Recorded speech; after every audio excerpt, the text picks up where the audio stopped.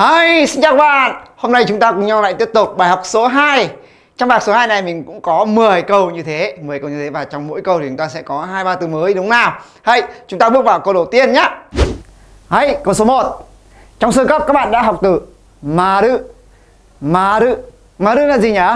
Là dấu tròn này đúng không? Maru bắt sự đấy Maru là dấu tròn Bắt sự là dấu sao này à, Dấu gạch này, sai này. Được chưa nào? Maru là dấu tròn. Hãy tưởng tượng một cô gái có một khuôn mặt rất là tròn như thế này. Và cô ấy tích cóp được rất là nhiều tiền, tích cóp được rất là nhiều tiền. Chúng ta có từ tích cóp đó là tamaru tamaru nhớ chưa nhỉ? Maru tamaru nhưng cô ấy đang im lặng. Damaru, im lặng là damaru. Im lặng bởi vì sao? Bởi vì những số tiền tích cóp ấy đã bị lừa. Damasu là lừa lọc, được chưa? Damasu. Nhắc lại một lần nữa nhá. Maru. Tamaru. Tamaru là tích cóp được chưa nào? Tiếp theo. Damaru. Im lặng. Và damasu là lừa ok chưa? Dễ nhớ không nào? Hãy tiếp theo vào câu số 2 hãy trở về là gì nhỉ kaeru. Kaeru. Ok. Bây giờ chúng ta trở về trở về nhà để làm gì? Để đếm tiền.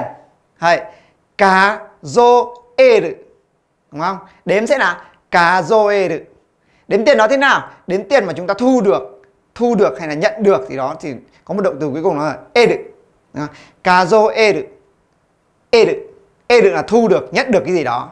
Câu này dễ không nào? Nhắc lại nữa nhá. Về nhà cá e được đếm cá dô e được thu được, nhận được e được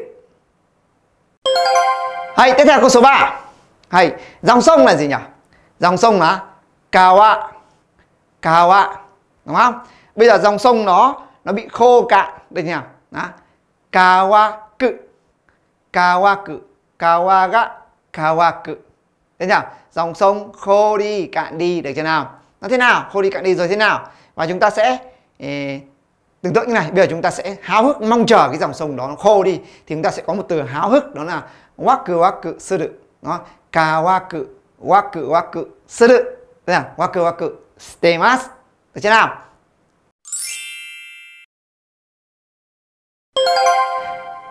Eh, có một động từ uh, cũng liên quan đến từ kawaku. Kawaku là tự nó khô đi và bây giờ mình sẽ nói một từ động từ khác đó là động từ làm khô thì sẽ là kawakasu. Kawakasu. Thấy à? Các bạn thấy không? Ở đây chúng ta sẽ có một danh từ là kawa là dòng sông, kasu ngày xưa trong sơ cấp chúng ta đã học rồi đó là gì nhỉ? Cho mượn đúng nào? Cho mượn. Cho mượn dòng sông và và bị người đó làm khô mất dòng sông đúng không? Hay kawa kawakasu được chưa nào? Ok nhớ nhá Ui ôi, lâu thế. Anh Dũng ơi, ra uống rượu anh Dũng ơi. Ờ, ai đây? Ờ, rượu à? Ờ, ờ, ờ. Ừ. em ơi gặp cho anh cái chăn này nhá. Đây đây đây đây, đây. Ui giời, làm gì lâu thế? Vào làm chén rượu. Hết cả cốc này mà. Hết luôn. Ok. Ok. Rồi, chúc ngày mới vui vẻ. Ngày mới vui vẻ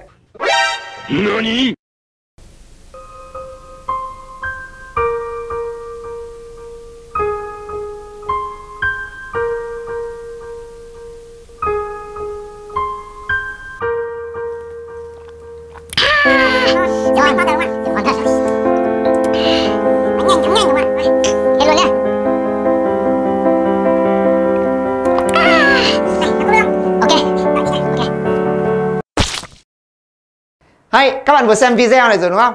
Một anh chàng rủ anh chàng kia là, uống đi uống đi, dậy để uống nào. Đúng nào? Thì anh chàng kia thì lờ mờ lờ dậy, đúng không? Xong nhờ vợ nhờ vợ làm gì? Nhờ vợ gấp hộ cái chăn. Thì chúng ta sẽ có uống sẽ là nô mự đúng không? Hay, nhờ sẽ là gì nhỉ?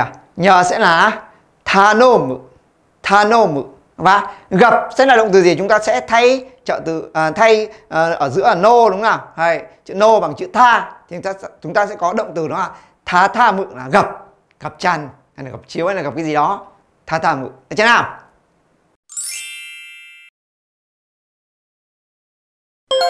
Hay hay không? Vui không nào? Hay chúng ta đến với câu tiếp theo nhá. Đơn giản thôi. Bây chúng ta sẽ học một động từ đó là rủ dê. Trước khi học từ rủ dê mình sẽ có một động từ này các bạn biết rồi. So là đúng đúng nào? So là đúng thế nào? Ngược lại của so là gì nhỉ? Ừ, uso. Uso ừ, là nói dối. Nhỉ? Nói dối. Và chúng ta thêm chữ sa vào đằng cuối. Sa nó mang ý nghĩa ám chỉ là nhảy nhé nhi nhé nhé nhá nhá nhá nhá như trong tiếng Việt. Hôm nay nhá đi ra ngoài chợ nhá. Thế là à, bắt gặp một cô bé nhá. À, thế nào thế nào đó. Nhá nhá nhá. Được chưa? Thế là gì nhỉ? Đúng. So uso uso sa uso sa so uso sa tức là đúng nói dối nhá thì sẽ không rủ được cô ấy đâu. So ừ, so sa và cái từ rủ rủ dê sẽ là ngược lại. Xá so ư nói dối ư so sa này. Và bây giờ chúng ta sẽ thêm ngược lại chúng ta sẽ nói ngược lại một tí là xá so thì có nghĩa là rủ dê. Đấy nào? Đúng nói dối thì sẽ không rủ được cô ấy đâu. Được chưa nào? Đấy, câu tiếp theo rất là đơn giản đúng không nào? Go được go được sự được là ghi bàn được chưa? Nếu mày ghi bàn thì tao sẽ đãi. Gold được stara Ogold được. Là đãi mày. Bao mày. Được chưa Ogold Gold Ogold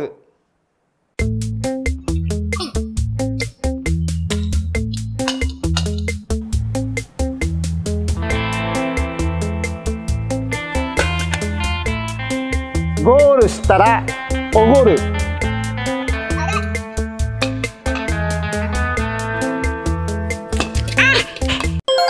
Hay, câu vừa rồi dễ đúng không nào? Bây giờ chúng ta chuyển sang câu tiếp theo. Trong tiếng Nhật, trước tiên là gì? Mazu. Mazu. Được chưa? Bây giờ chúng ta sẽ học một động từ đó là azukaru. Mazu, azukaru. Azukaru tức là giữ. Đúng không? Mình giữ đồ của ai đó, được chưa nào? Hay. Trước tiên em sẽ giữ đồ của anh được chưa tưởng tượng là bây giờ mình mới vào gì nhỉ Ờ, vào trong khách sạn xong bắt đầu ờ, đưa hành lý cho nhân viên ở đó, được chưa? Đưa hành lý cho nhân viên đó và cô ấy nói rằng là, trước tiên em sẽ giữ đồ của anh. Được chưa? Mà giữ à, azukaru giữ đồ và em để nó ở chỗ có nhiều ánh sáng này nhá. Ánh sáng sáng là gì nhỉ? Sáng là akarui akarui đúng không nào? Azuka à, được.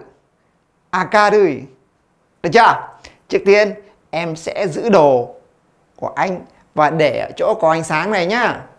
Thì chúng ta sẽ nhớ được ba từ đúng không? Mazu azukaru akarui.